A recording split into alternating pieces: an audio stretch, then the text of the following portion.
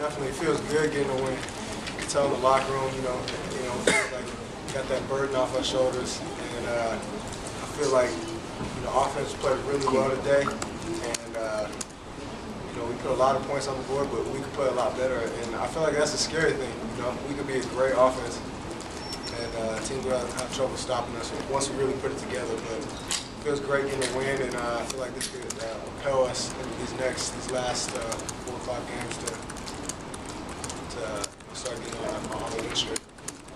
After the struggles you guys had, you guys had last week, uh, shut out in the second half. It feel good on and 59 on the board? Oh yeah, definitely, definitely. Uh, we want a little more on the board, but you know we'll take we'll take that. But uh, it feels good. But you know, like I said, we, you know we get a lot better in a, a lot of different areas on offense, and you know once we put everything together and have a complete game, you know we're gonna be really good. Was anybody trying to convince Fitz or any of the coaches to let you guys try to punch in that last touchdown to get 66? I mean, I wanted to get 60, you know, but uh, you know you got to be smart. You know, you, you don't want anything to happen, so you know you can't complain. Um, but uh, besides that, I feel like you know, we played really well the whole, the whole game. What'd you see in Indiana's defense that you were able to roll up over 600 yards today? Oh wow! Um, they played a lot of man, and uh, you know it's just one-on-one matchups out there, and uh, you know, you know in that case, you know we're gonna say you know our guy's better than your guy. Now go, now go out there and beat him. And our guys made plays out there today, and uh, gained yards. And then the offensive line just did a great job of blocking. You know, uh, those guys just really stepped up and uh, you know, you know just took their role you know full force and, and, and just opened up some big holes out there. Did you know they started seven true freshmen?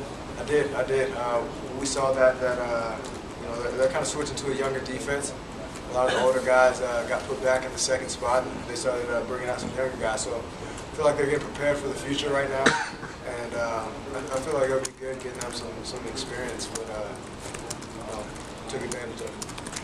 I know you're obviously not keeping track of your stats in the game, but you were on a pace for a while to get over 100 yards receiving, rushing, and passing. And what, what do you have to say about your role that you're playing for this offense?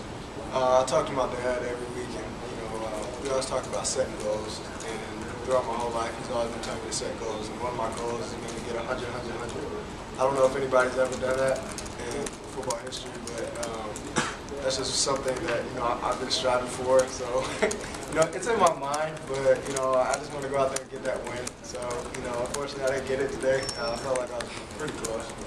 Have you ever talked to the coaches about that? Uh, the coaches don't know. I mean, I'm sure they'd, they'd be like, I don't care what you want. but as far as just me and uh, just talking to my dad, he always tells me to set goals. You know, so I want to get 100, 100, 100. and I want to get a rushing, passing, and a you know receiving touchdown in one game. So set goals and you know just try to go out there and accomplish it. How help was it for you and Dan to have a guy like Drake to be such a good red zone target?